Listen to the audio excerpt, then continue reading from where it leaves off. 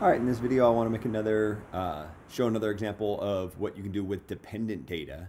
So as a reminder, we have this made up example where I randomly selected 10 married couples, heterosexual married couples, and tracked how many books each husband read and how many books their wives read. So the first couple, husband read three books, wife read four books. Um, and what I wanted to do, what I did in the last video is I did hypothesis testing with that data. In this video, I'm going to do make a confidence interval with that data. And when I say with that data, I don't really mean with these two columns of data because as we saw, if you have dependent data, if these are married couples and not just 10 males and 10 completely unrelated females, if these are connected, dependent upon one another, then I can subtract them. I can forget about these two columns of data, instead focus on this column of data where I find the differences. This negative 1 is this 3 minus this 4. This positive 5 is this 15 minus this 10, and so on. In the last example, we try to figure out if we can conclude that males read more than females. Maybe now I can say create a, I don't know, let's go 99, sure, percent confidence interval for how many more books males read than females. Uh, not great English, but hopefully close enough that you can understand what's going on. The key thing here is we're making a confidence interval this time. And I don't think it'll surprise you to find out that what we're going to do is going to be pretty similar to what we did with hypothesis testing, where we only worry about L3, this difference column here. Um, but instead of doing a t-test, we're going to do a t-interval. So when we did uh, when we made confidence intervals in the past, it was a three-step process that sometimes had this additional fourth step. The first step, you would state the shape center and the spread of the distribution. Although, as I told you in the previous video, we're not going to worry about shape, center, and spread anymore in this class. Um, the formulas get pretty difficult pretty quickly, and I don't want you spending your time there. You've already proven to me you can do that in chapter four. So we'll skip that step. So the first thing that we'll do down here is we'll just draw our picture.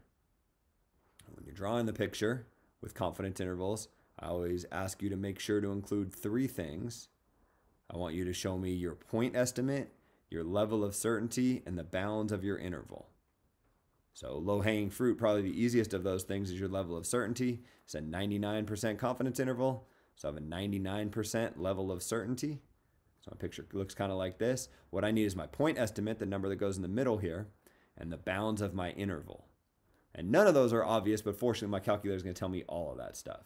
So what I want to do, first make sure you got your data in here. I got the green data in L3. And I want to hit the stat key, then go over to tests, and it's going to be a T interval. Same reason it's a T interval, uh, same logic as it was that made us choose T test as opposed to Z test is going to have us choose T interval as opposed to Z interval. Nowhere in the problem does it say anything about sigma, the population standard deviation. That's not known. The only standard deviation we get is the one our calculator is going to calculate from this sample data. When you don't have sigma and instead know S, it follows a t distribution, which is why we're going to use t interval here. And I could either do this with data or statistics. Right, I could give you the statistics. I could say you randomly selected 10 married couples and found that on average, the males read 1.8 books more than the females, and the standard deviation of the differences was 2.5. I could give you those numbers, in which case you'd have the statistics, you'd have X bar and S. Uh, but typically what I do is I give you the data instead. And so you got to give your calculator the data. And the data is in L3 because again, it's the green data that I want to use here because I have dependent data. And then my level of certainty, which in this case we said was a 99% confidence interval. So you go down to calculate. And what you'll see is this not only gives the bounds of the interval, negative 1.867, and we'll talk about what that means. What do you mean negative? And five point, a bunch of sixes. Uh, I guess I could round that to a seven in case anyone's picky. Uh, and then you're like, what about the point estimate? You never gave me that. Right. The calculator calculates that for you here. That's what this X bar represents.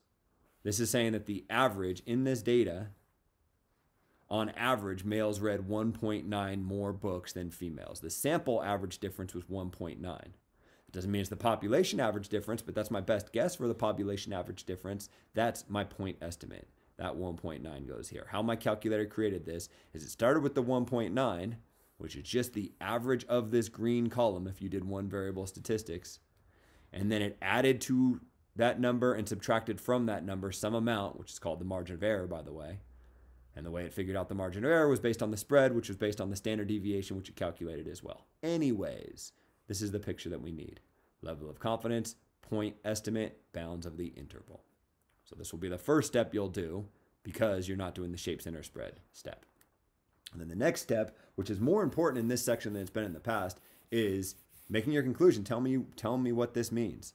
And typically, when I ask this on tests, I say, "Tell me what this means," and be really clear that make clear that you understand what negative numbers represent in the context of this example. What do you mean negative 1.867?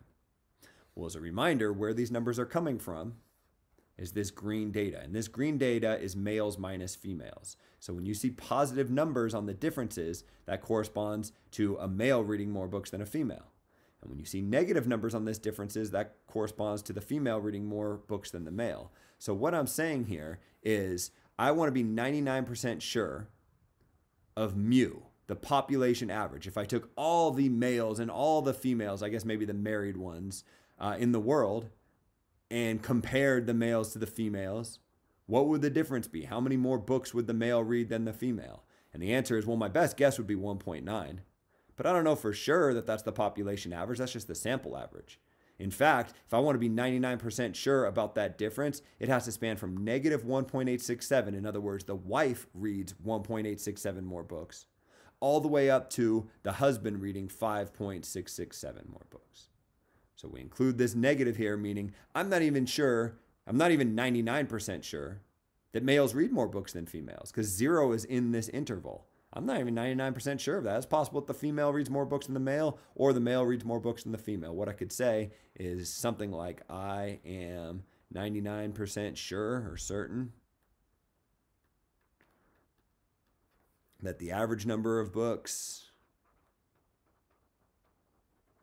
read by